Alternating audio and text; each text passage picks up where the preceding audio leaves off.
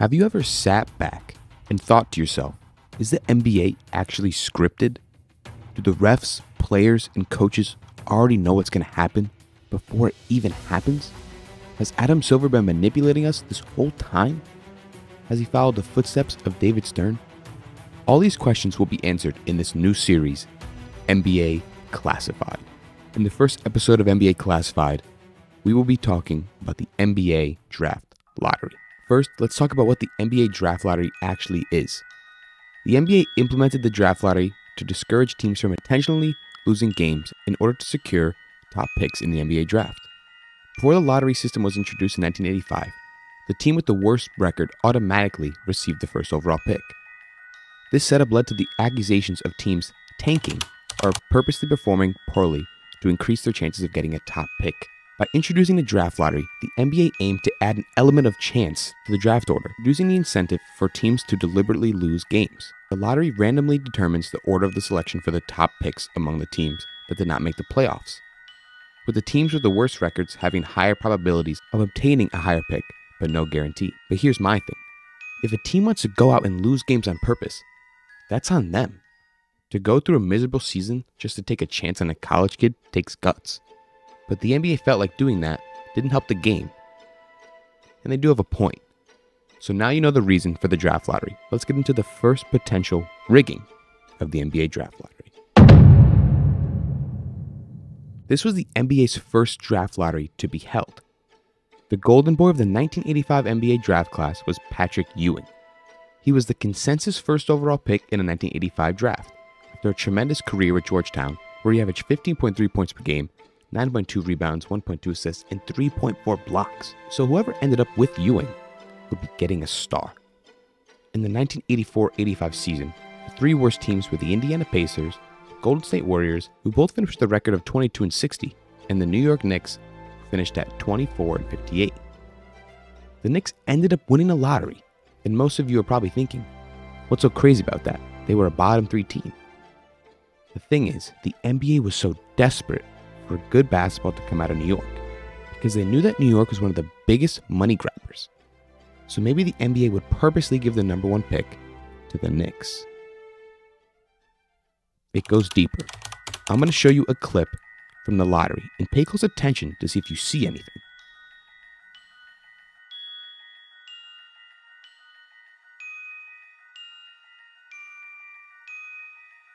Did you catch it? I'll slow it down for you.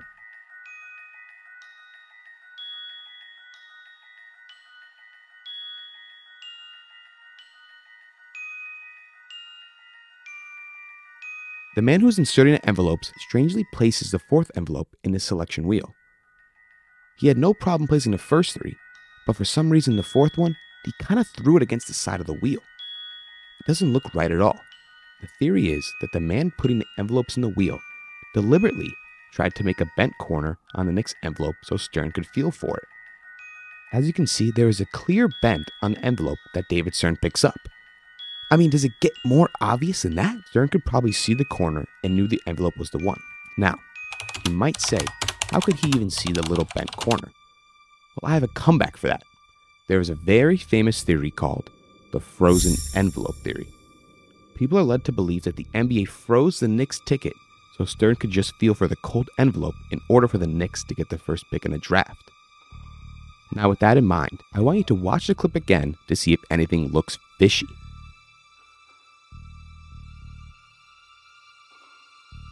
Stern clearly grabs two envelopes and decides to take the bottom one. Why didn't he just grab one? It's because he needed to find the cold one. So he flips the envelopes upside down and drops the one he originally had on top and took the Knicks envelope out. Most conspiracies in sports have little to no convincing evidence, but the rigging of the 1985 draft lottery seems pretty conclusive. And of course, David Stern aggressively denied these accusations.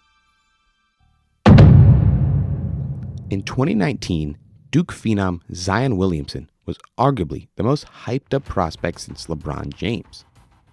Everyone was so eager to find out where Zion would end up, me included being a Knicks fan. Side note, Julius, we could really use you right now. Anyways, the thing with Zion was that any team who landed him, it would create such hype around that organization. Williamson would bring in so much draw to any team. In that lottery, the three teams with the highest odds to land a top pick at 14% was the Knicks, the Cavs, and the Phoenix Suns. But this time, the lottery wasn't rigged for the Knicks. The New Orleans Pelicans won the lottery with a 6% chance to land the number one overall pick, and were given the chance to select Zion Williamson. You might be thinking, maybe they just got lucky. No, no, no, they did not. Here's my theory why the lottery was rigged for the Pelicans. In that point in time of the NBA year, it was expected that the Pelican superstar, face of the franchise, Anthony Davis, was going to request a trade. Davis wanted to be playing on a championship caliber team, and he made it clear he didn't want to be in New Orleans any longer. I'm led to believe that the NBA knew that if Davis was gone, the Pelicans would be in a dire situation. For a team like New Orleans, who isn't known for having a strong fan base, they lost their only good thing, they'd be in shambles. I believe the NBA forced their hand and gave the Pelicans the number one pick to relieve themselves from having anything to worry about. The Pelicans were a franchise on the verge of going down a dark path. Giving the Pelicans a phenom like Zion Williamson would help in every aspect. This one could be a stretch, but I honestly do believe this happened. Or maybe it's me just being a salty Knicks fan. No team in the NBA has experienced the guiding hand of the league quite like the Cleveland Cavaliers. The Cleveland Cavaliers drafted LeBron James in 2003, which Cleveland hoped this would be the man that would save their franchise and deliver a championship.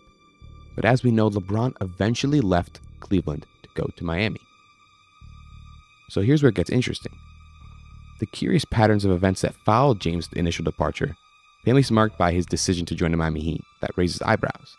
Despite never finishing with the worst record in the league, the Cavaliers unexplainably found themselves with the number one pick in the NBA draft, not once, not twice, but three times in the span of four years 2011, 2013, and 2014. Consider the odds. In 2011, they secured the top pick thanks to a mere 2.8% chance. In 2013, the odds were higher at 50.6% chance. So that's not as crazy. But in 2014, an astonishingly slim 1.7% chance delivered them the top spot. This is absolutely mind blowing. Listen to what I'm about to say. The raw probability of this series of events unfolding as it did is a staggering 1,493 to 1, an outcome so improbable. Yet, there were the Cavaliers repeatedly defying the odds. In the wake of LeBron's departure, the franchise found itself desperate for need of cornerstone players, and it seemed the NBA was more than willing to offer them repeated opportunities to find one. Even as recently as April 2019, LeBron leaving the Cavaliers for the second time for the Los Angeles Lakers, the Cavs found themselves in a 50 50 coin flip for the Phoenix Suns to determine who would officially receive the ping pong combinations for the second worst record in the league. Unsurprisingly, the coin landed in the favor of the Cavaliers, granting them another great position in the draft lottery. Coincidence? Maybe. But when such improbable occurrences accumulate with such regularity, it's hard not to wonder if there's a guiding hand at play behind these scenes orchestrating the fate of certain franchises in ways that defy conventional logic. That's going to close out episode one of NBA Classified. We dove into the mystery behind the NBA draft lottery and uncovered some eyebrow raising incidents that suggest there may be more than to meets the eye to how teams secure their picks. In episode two, you will hear how the NBA and Michael Jordan worked together to hide Jordan's gambling addiction to the world. Make sure to subscribe and hit that notification bell so you don't miss it. Peace.